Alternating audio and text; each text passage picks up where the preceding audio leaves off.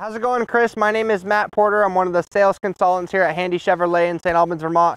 I first off just wanted to thank you again for choosing to inquire with us, specifically on this 2018 Chevrolet Impala Premier that we just took in and trade.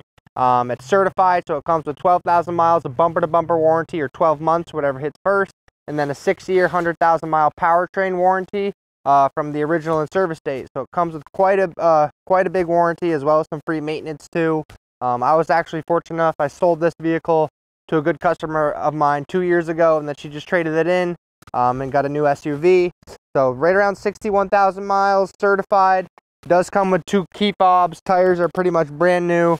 There is remote start right on the key fob. This is Premier, so it's fully loaded. It's got the leather, heated seats, remote start. Uh, it's got the safety features here on the mirrors. Power seats with lumbar support on both sides.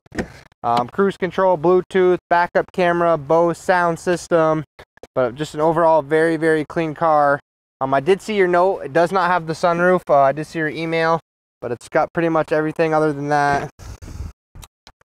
And I did see that you were six feet. I'm about I'm about six foot one, and I fit back here well, no problem at all. Tons of tons of room in the back.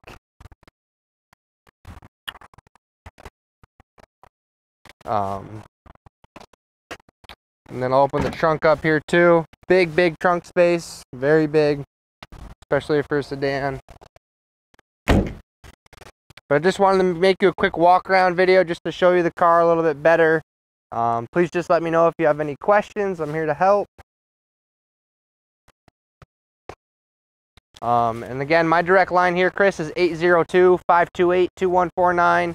Uh, thank you again for inquiring, and hopefully we can set up a time for you to come by the dealership to take this for a test drive, see if it will work for you. Again, just let me know if you have any questions, 802-528-2149. Thanks, and have a great day.